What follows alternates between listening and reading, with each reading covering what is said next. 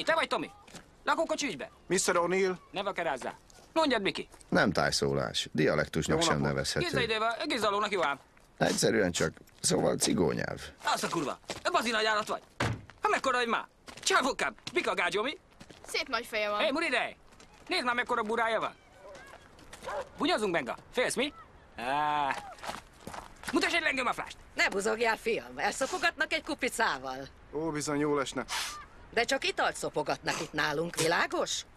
Húzz el szépen a francba, kisköcsög. Amelák csak te állszhat. Na gyere. Nem órikálj, Miki. Van rendes piánk is az uraknak. Ö, Köszönöm, köszönöm. A nagy medve nem jön be velünk? Nem, ő vigyáz a kocsira.